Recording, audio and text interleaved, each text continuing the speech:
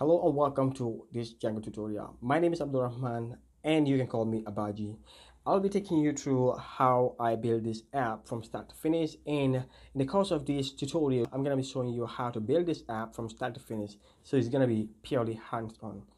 So I figured that if you want to learn programming you gotta be doing the work okay you gotta be doing the uh, the hands-on so I created this app so that I can show you how to build an app like this from start to finish so this is about uh, how to build apps in Django and I know a lot of you want to learn Django so I've been doing Django development for about seven years and I have built several applications like hospital management system stock management system and a lot of different different kind of application. I build um, enterprise applications using Django and Django is really powerful to build almost any kind of apps that you want to build so uh, in this tutorial I'm going to show you how to build this app like I said from start to finish. And this will include HTML CSS, JavaScript, uh, um, Python. So I'm going to do a quick demo of this app. Like I said, it has a lot of technologies that will be putting together. By the end of this tutorial you will definitely definitely be able to do a lot okay? Uh, especially with Django. So I'm gonna do a quick demo of this app. Uh, first you can see this is the um, web interface. This is the, the, the landing page or your home page um, you'll have to click on login. Right here you can see you have only the home menu okay? The home menu will be the only menu that you will see before or prior to logging in. So right after you log in by typing your username and a password you would be able to see the menus that you have access to see. Like i said uh, uh, the reason why i said the menus that you have rights to see is I'm going to be logging in with another username and you would see that with that username you will be able to have only few of the current menus that you're seeing with this user account. So when you log in it will put your username right here slash and you're to have logout that shows that you are already logged into this app. And right here seeing the menus that also tells you that you are logged into this app. So uh, it is going to be a computer inventory management system where we're going to be recording or recording details about the computers that you have in your organization. So this will really give you a good example or good um, uh, practice on how to build apps using Django. There are a lot of features that are embedded in this application and let's go through them one after the other. So the first is to list out. So we're going to do a complete CRUD CRUD or Django uh, application and that means you're gonna do create that means you're gonna be inputting data into the database.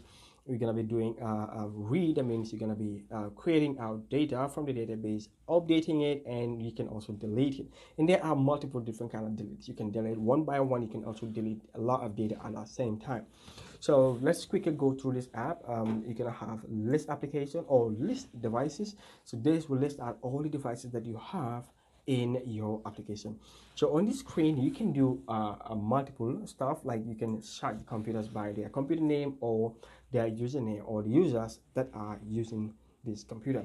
For example if i want to search a computer with a computer name i will look let's say you want to search a computer called test i'm going to type any any character that matches with whatever I want to search and I press enter or I click on the side button right here. You can see it filters down to that computer and um, uh, you can also search by uh, username. I re let's say uh, we have a user um, a computer with a user uh, HL okay? So I'm gonna put a HL right here. You can see it shows us only that device. All right so um, you would be able to export this data in a, a csv okay? In a csv by checking that checkbox and then click search okay? You can see that data right here has been exported uh, let's give it time to load. Yeah. So if i click on ok you can see i have uh, the data right here exported in excel. Right. So that is one of the features. Good. So you can delete a computer. You can delete a computer by clicking on this delete button. It will ask are you sure you really want to delete this particular object? If i click yes that data will be out we can see we had six now we have four. And i can do multiple deletes let's say you can do bulk delete by clicking on this bulk delete key and you can see the uh, select all the devices that you want to delete and you hit delete key right here. So this will also prompt and uh, tell you that this is the computers that you want to delete all these devices here. If you saw that you want to delete you just hit yes and it's going to delete. If i click no it will take me back. So we're going to click delete again and then hit yes all those devices will be deleted and it will give you an info stuff right here that says you have actually deleted all these computers at once. All these computers will be deleted at once. Okay so right after that uh, you can see you'll be able to edit the computer by clicking on the um, the uh, the computer name and it will give you the form to edit this information so let's say I wanted to type the MAC address and add AA then BB to it and press enter so that MAC address has been updated and one cool feature about of, of this app is if I go to update history, this will show you all the devices that have uh, been updated in the course of using this app. So right here, I had a computer that was um, as PC. Initially, you can see right here, it has a MAC address of AA. Now it has been updated with a MAC address of AA colon BB. Okay. And you can see the day that I purchased and everything else is the same as it was in the first record right here so that is keeping uh, um, history of all the devices that have changed uh, on this application so it's kind of like uh, an audit trail okay um, yeah so that's the update history of the devices you can add the devices from here by typing the device uh, by filling this form.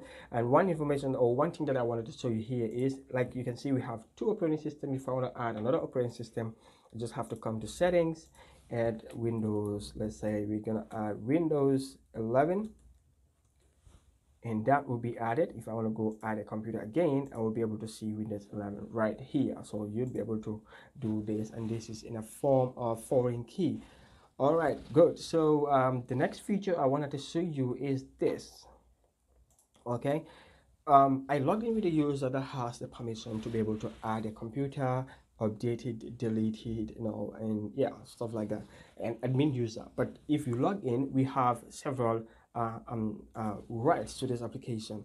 So if another person logs in, I just logged out and it says log out. So I'm gonna click uh, login and login as user one with the password of user one. So when I log in as user one, you'll be able to see that user one is able to list out the computers right here, but there is no function to edit the computers or to delete it. So this is uh, some kind of um, permissions that we'll be doing on this tutorial. You'll be able to learn how to do all this on your own. Great. So uh, this user only had the access or the permission to list out the computers and also to add the computers to the database. Okay. By the way, the database is going to be a MySQL database. So we're going to be learning how to do all this MySQL stuff, you know, how to set up this app connected with a MySQL database. Great. So uh, you'll be able to see the history as well. But this user right here cannot edit the information, cannot, um, yeah, cannot edit. Yeah. So all they can do is just add the uh, the data into the database. So I'm going to log in as another user, user two in this case, with a password of user two. So with user two, they would be able to list out the computers. Okay, they'll be able to list them out they can edit them okay they can edit and save let's say i'm gonna add cc or let's just see give it cc save that information you can see the MAC address has been changed to cc but they cannot delete this information they cannot delete the record here only the admin is able to uh, delete the record from the database they will be able to see the uh, update list as well so these are some kind of authorization. Um, once you're able to log into this app, what can you do after logging in? So I'm gonna teach you. I'm gonna be teaching you how to do all of this using Django, and this is gonna be really fun. Okay. So those are the uh, kind of um, things that we're gonna be doing, and it is a lot of information. So this um, gonna give you a lot of understanding of how to do web applications using Django. Like I said, we're gonna be covering HTML, we're going to be covering css we're going to be doing um, javascript uh, yeah we're going to be doing a little bit of javascript right here um, and, and, and then maybe the database Microsoft My, MySQL database we're going to be setting up a MySQL database and I'm going to be showing you how to do this correlative feature right here which I really really like okay so um that's how to do the operating system like I showed you. So this is gonna be uh, um, a full-time um, uh, uh, web application training and I hope you enjoyed this video. So see you in the next one.